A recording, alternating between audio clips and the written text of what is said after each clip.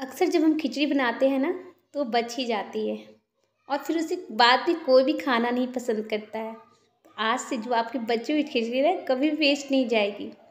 Hi everyone welcome back to my channel Jyoti struggler blog I hope आप लोग बहुत अच्छे होंगे और माता रानी के पास सदैव आप पर यूँ ही बनी रहे। तो फ्रेंड्स आज मैंने दोपहर में खिचड़ी ही बनाया था।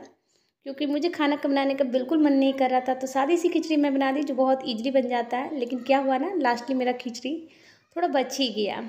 अब शाम का समय था मतलब कि रात हो गई थी और अब बची हुई खिचड़ी कोई खाना पसंद नहीं करता है, क्योंकि वो काफ़ी थिक हो जाती है, जम जाती है। तो अब इसे हम एक नया लुक देंगे इस खिचड़ी को, इसी खिचड़ी को।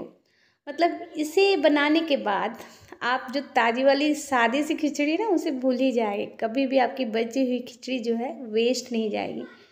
तो मेरे पास जो भी हरी सब्ज़ियाँ थी, जैसे बैंगन, टमाटर, गोभी, हरी मिर्च और धनिया पत्ता, जो भी हरी सब्ज़ियाँ थी, मेरे पास जो भी थी हरी सब्ज़ियाँ, मैंने खिचड़ी के हिसाब से सारी हरी सब्ज़ियाँ को निकाल लिया है।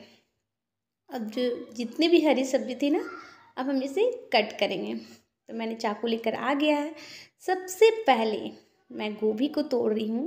गोभी हम लोग पूरा एक नहीं डालेंगे, बहुत ज़्यादा हो जाएगा क्योंकि खिचड़ी क्वांटिटी तो आप देख ही रहे थे और गोभी जो है ना मेरा थोड़ा पुराना ही है। इसे बस मुझे अच्छे से देख लेना था कि कीड़ा उड़ा नहीं है। और जितने बड़े बड़े मैंने काटे हैं, बहुत एकदम छोटे भी नहीं काटे, बहुत बड़े भी नहीं काटे हैं। बस इसे मैं ना काट काट के पानी में डाल दूँगी ताकि ये धुल भी जाए। तो बहुत ज़्यादा गोभी मैंने नहीं लिया है। आप देख सकते हैं, कुल मिलाकर आठ पीस मेरा गोभी है और एक बैंगन। मैंने बिना बीज वाला बैंगन लिया है। बैंगन को भी ना हम लोग बस कट कर लेंगे। बहुत ज़्यादा मोटा भी नहीं और बहुत ज़्यादा छोटा भी नहीं। बस गलाना है बैगन को, समझ लीजिए। उसी हिसाब से हम लोग बैगन को कट लेकर कर लेंगे। सारी सब्जियों को मैं साथ में, एक साथ पानी में डालते जा रही हूँ, जितनी भी सब्ज़ियाँ हैं। मतलब कि धनिया पत्ती भी मैं जो है ना, काट करके इसी में डाल रही हूँ। बस फ्रेंड्स आप मेरे ब्लॉग को कहाँ से देख रहे हैं प्लीज़ ज़रूर बताना। और अगर वीडियो अगर आपको थोड़ी सी भी अच्छी लगी ना तो प्लीज़ जाते जाते एक लाइक ज़रूर कर दीजिएगा और ब्लॉग में आखिरी तक बने रहिएगा। तो हरी मिर्च को भी मैंने इसमें डाल दिया है और सारी सब्जियों को मैं धो लेती हूँ। उसके बाद मैंने ना कढ़ाई में दोपहर में थोड़ा सा चोखा बनाया था तो चोखा जो है मेरा थोड़ा सा बच गया है आलू का भरता। तो बस मैं उसी कढ़ाई में ही अब मतलब कढ़ाई मेरा गंदा ज़रा भी नहीं हुआ था तो इसी कढ़ाई में मैं बस बनाने जा रही हूँ। तो सब मैं यूज़ कर रही हूँ सरसों तेल का। जनरली मैं खाना सरसों तेल में ही बनाती हूँ, क्योंकि सरसों वाले बना हुआ खाना ना मुझे काफ़ी ज़्यादा पसंद है। तो मैंने सरसों का तेल डाल दिया है, और जितना गोभी था ना, उसके हिसाब से मैंने ज़्यादा ही डाला है। तो गोभी को अब मैं अलग कर ले रही हूँ, क्योंकि सबसे पहले गोभी जो है ना, हमें हल्का भून लेना है। कच्चा गोभी का यूज़ करेंगे तो बिल्कुल भी अच्छा नहीं लगेगा। जब तक मेरा गोभी भून रहा है तो चलो मुझे ना हरी मिर्च और थोड़े से मैंने ना लहसुन छिलके रखे हुए थे, क्योंकि लहसुन और हरी मिर्च को हमें रफली चॉप कर लेना है। तो मैंने लहसुन को भी एकदम बारीक चॉप कर लिया। आप चाहे तो इसे किसी से ना क्रश कर सकते मतलब कूच के भी डाल सकते हो। उसके बाद हरी मिर्च को भी मैंने छोटे छोटे काट लिया है। बहुत छोटे नहीं काटे हैं, कहीं बच्चे नहीं खाना पसंद करें तो।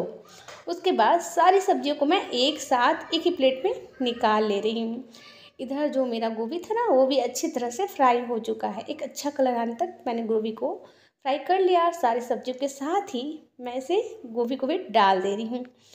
अब जो है ना, कढ़ाई में जो मैं थोड़ा तेल डाली थी, उसी तेल में मैंने लहसुन और हरी मिर्च को डालना है। तेल मेरा ज़्यादा था, आप देख सकते हैं।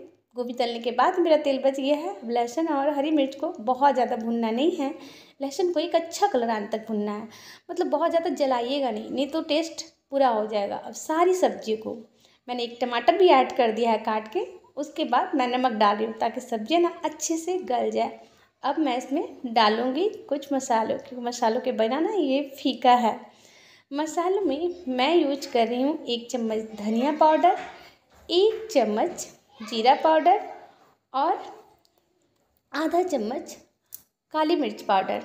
और मैंने हरी मिर्च का पहले भी यूज़ किया है, इसलिए ना मैं इसमें हरी मिर्च नहीं, लाल मिर्च थोड़ा ही डालूँगी। उसके बाद मैंने आधा चम्मच के करीब इसमें गरम मसाला भी ऐड कर दिया और साथ में हल्दी भी ऐड कर दिया है। अब इसे मैं चला करके ना एकदम लो फ्लेम पर ढक दूँगी ताकि ये अच्छे से बिना पानी के ही ना गल जाए।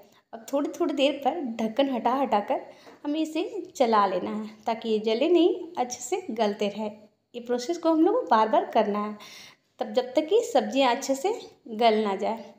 हमारी सब्ज़ियाँ ना बिना पानी के ही एकदम अच्छे तरीके से गल जाती है। ये गली हुई सब्ज़ियाँ ना आप रोटी के साथ भी खाइएगा तो काफ़ी स्वादिष्ट लगता है। हमारी जो सब्ज़ियाँ हैं, जैसे ही गल जाती है, मैं इसमें डाल दे रही हूँ पानी। और पानी डालने के बाद एक अच्छा जब उबाल आ जाता है तो मैं इसे बची हुई खिचड़ी में ऐड कर दूँगी और इसे अच्छे से चला दूँगी। आप देख सकते हैं हमारा खिचड़ी किस तरह से है। अगर आपका पानी कम है तो आप ऊपर से और पानी ऐड कर सकते हैं। अब इसे ना मैं लीड लगा के फुल फ्लेम पर फिर से चढ़ा दूँगी पकने के लिए। बस हमें इसे विसल नहीं लगाना, नहीं तो खिचड़ी बहुत ज़्यादा गल जाएगी। दस मिनट हम लोग खिचड़ी को पका लेना है।